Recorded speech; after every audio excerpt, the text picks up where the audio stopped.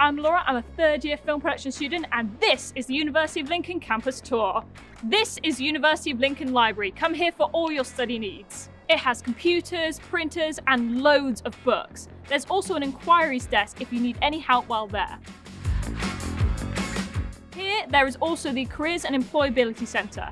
The careers team can support you through every step of your career journey, from gaining part-time work alongside your studies to exploring your career options and securing your dream graduate job. I've already done a whole video just on this building, so be sure to check that out.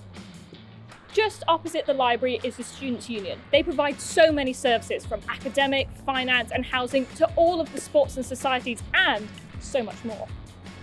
This is Towers, one of the on-campus bars run by the SU. They've got loads of food and drink options. Just over this bridge is more university buildings and your way to the town centre.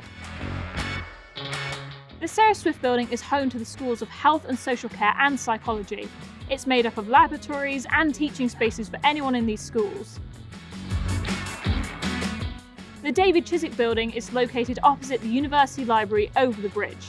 It's home to the Lincoln International Business School and contains the Bloomberg Laboratory, a fantastic resource letting students work with real market data. There's also the Global Lounge, a space for students to socialise or study and attend the events that Global Experiences team facilitate. Let's move on. This is the Lincoln Arts Centre. Here you can find the Zing Cafe Bar, loads of live events, live bands, and so much more. This is the Isaac Newton building. You may find yourself here for an event in the atrium or a lecture in the biggest lecture theatre on campus. If you study computer science or engineering, you'll be here a lot. Nicola de la Haye and the Peter De Wint buildings are just opposite. Nicola de la Haye has an art shop where you can get all your art necessities. They're home to loads of art courses like design, fashion and architecture. A bit further along is the new Ross Lucas Medical Science building. Janet Lane Claypon building is laboratories used by students in the School of Chemistry, Life Science and Pharmacy. It's located just next to the Arts Bridge.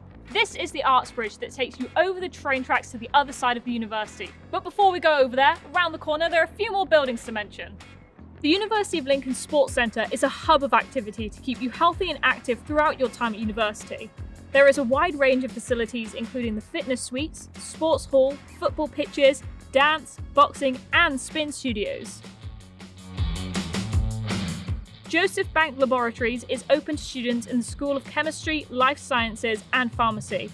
It's located in the Lincoln Science and Innovation Park just south of Pavilions accommodation. Multi Faith Chaplaincy offers pastoral care, a confidential listening ear, and spiritual support to anyone in our university community, no matter whether you consider yourself religious or not. And now over the bridge. Here we have the Alfred Tennyson building, which is located just opposite the Minerva building and home to loads of media related courses. There's loads of facilities like an editing suite, TV studios, radio and sound equipment. It's also home to a few other art courses like English. This is the Stephen Langton building. It's one of the smaller buildings on campus, but it's got a huge lecture theatre you can use. This is the Student Wellbeing Centre. They offer support, advice, or guidance with any challenges or difficulties students may face during their time at university. This could include concerns around disability, specific learning differences, mental health, or medical conditions, as well as anything that may cause emotional or psychological distress. Right next to it is the doctors. The University Health Centre is probably the easiest and most convenient GP to consider registering with, as it's right here on campus. Around the corner is the Student Village, where you'll find Cygnet Wharf and Lincoln Courts. Bridge House is also just down there opposite Cygnet Wharf and is home to the College of Social Sciences, Lincoln Law School, School of Education and School of Social and Political Sciences. Also at Cygnet Wharf you can find the Res Life Lounge. Here you can go to loads of social events or just to hang out. They provide loads of support, so make sure you follow them.